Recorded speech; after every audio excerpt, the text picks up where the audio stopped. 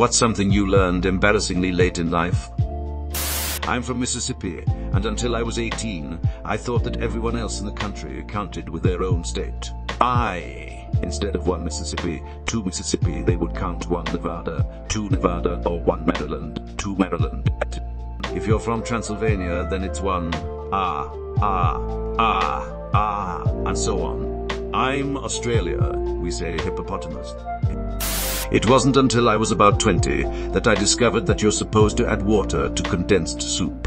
Very vividly remember eating condensed tomato soup in my dorm room without any water, so was essentially eating ketchup.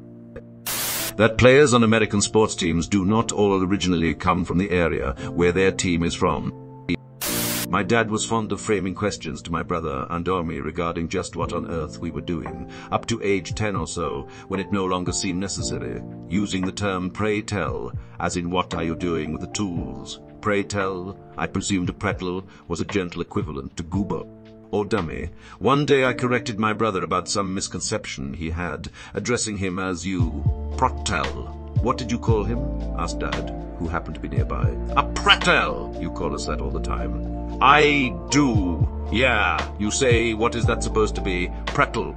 I'd never seen him laugh through a face palm before. But knowledge is power, France is bacon.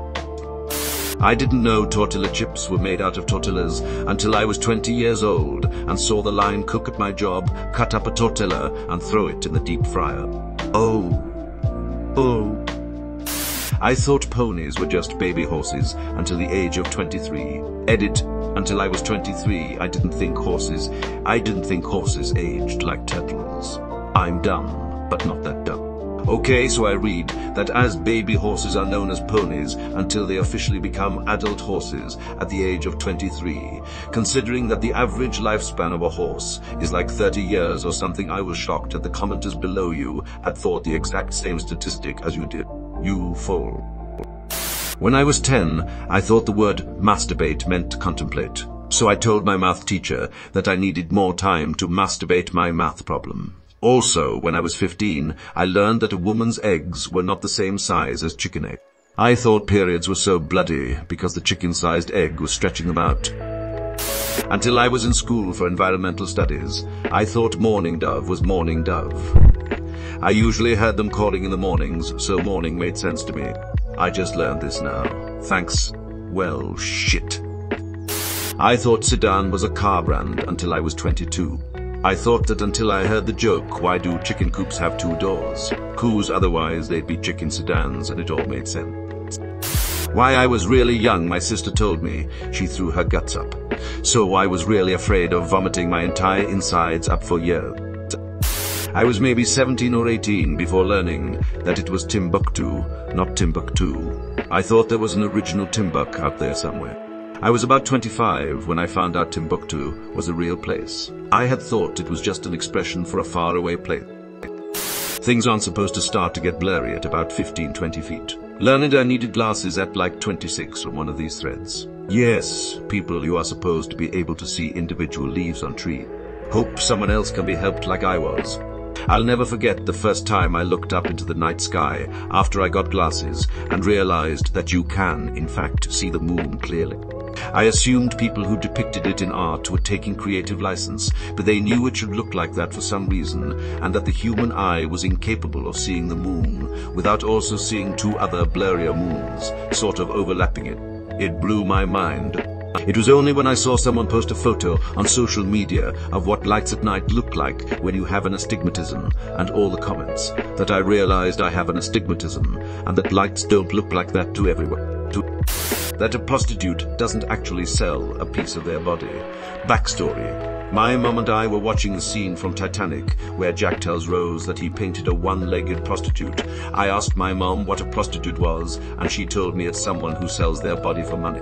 I could not fathom why someone would sell their leg for like $30. Lol, that was just a perfect confluence of unrelated information to confuse you. It was a completely logical connection to make when people say, quote unquote, I thought they were saying, quote unquote, till. Till. I always thought it was, quote, end quote. I live near the hospital for joint diseases. When I was a kid, I thought it was a special hospital for people who had two different diseases at the same time. A person with multiple diseases here. I will raise this at the next meeting with the hope of adopting it. Moving cross country, driving east to west, crossing from Idaho to Oregon, noticed huge fields with signs for the Ore-Ida Potato Company. So I was in my early 20s when I figured out oh, Ore-Ida wasn't just a brand name, but was because their potatoes came from Oregon and Idaho. When I was a teenager, I posted a status online that said I was jacking off. I thought that meant you were just bored and wasting time, until my older sister messaged me, horrified. When I was a teenager, I thought the expression to eat someone out meant the same thing as to chew someone out. Unfortunately, I was educated on this after I told someone in a church that I wasn't expecting to be eaten out that morning at breakfast. I was 17 low. My parents were divorced the whole time, and my mum was not, in fact, taking a vacation Lio. We're telling our kids that certain actors are on vacation when we need a change of scenery from a certain show like Blippi or Cocomelon or something. Sorry, Forrest. That a coma was a coma. Until I was probably 19, I thought it was a coma. I thought you fell into a coma. For the longest time, I thought astigmatism was astigmatism. So I think we cancel each other out. I once did an entire assignment thinking that ethics and ethnics were the same word. Oral contraceptive. You mean you can get pregnant just from doing that? Let me tell you about how I thought you were awarded a Pulitzer Prize. Not too late in life, but I thought my parents were making Roman cooks until I went to college. Which I think is a much better name for the drink anyway. Boom and Coke. I had to say it out loud to get it. Now I understand. Houston is not the name of the guy astronauts talk to. Houston, we have a problem. Your name isn't Houston. I learned that pork and beans are not called cowboy beans.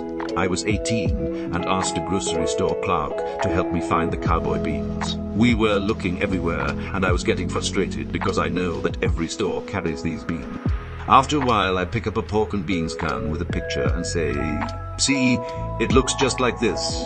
He says, You mean pork and beans. Then I realize that my mom called them that so that I would eat them.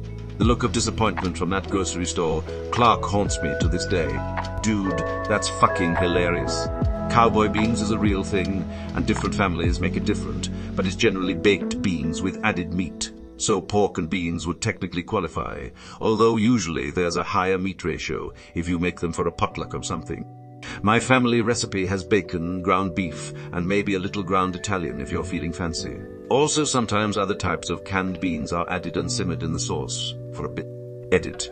For everyone asking how this differs from chili, the only way I've seen them made around me is with Bush's baked beans or a homemade but similar sauce as the base. So it's a sweet molasses, brown sugar sauce as a chili seasoned tomato based sauce. Also more bacon than one would usually put in chili. That bonsai are not a species of tree, but a way to grow them. Any tree can be a bonsai. I didn't know that. Coca and cocoa are two different plants, not one magical organism.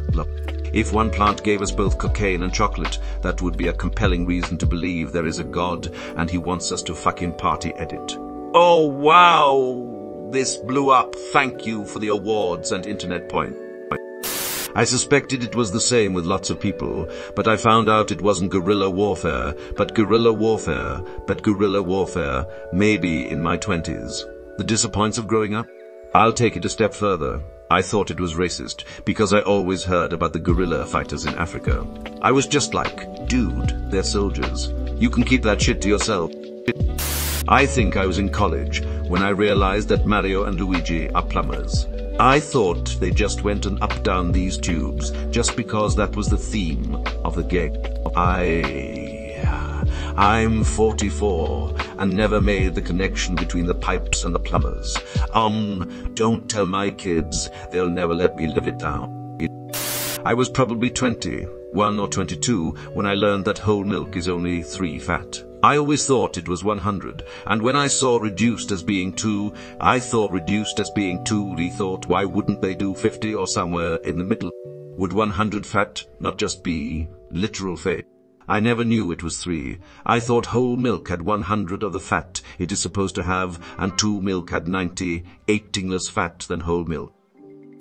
A few months ago, two of my colleagues both handed in their notice at around the same time. I kept reading, hearing the sentence. They are both moving on to pastures new being thrown about the office in the weeks leading up to them leaving, and I hadn't heard this phrase before, and thought that was the name of the rival company that they were going to. I thought it was weird that nobody was talking about how they were both leaving for the same company. I was in the car with one of the ones who was leaving and said, So where's that you and X are going to be working? Is it? And just before I could embarrass myself and say pastures new, they interrupted me and said they're not going to the same place, and asked me where I had heard that. I think at that moment I realized I was stupid and didn't mention it again. I personally have never heard someone say it that way. I've always heard new pastures. Edit. Greener pastures is what I was thinking. The saying is, nip it in the bud, and not in fact nip it in the butt. Screenshot taken, sent to my husband. I used to think that the Diet Coke bottles on the side of the road, which were half full of pale yellow liquid, were unfinished Diet Cokies that had been bleached by the sun. About two years ago, I saw one of these bottles being ejected from a truck, and I realized the awful truth. I'm 53.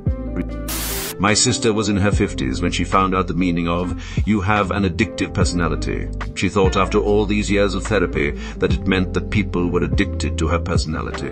We laugh hysterically when we talk about this, in a very sad way. I thought that horses had toes until I was 22. I thought the hoof was a horseshoe and the toes were tucked inside. How did I learn how wrong I was, you ask?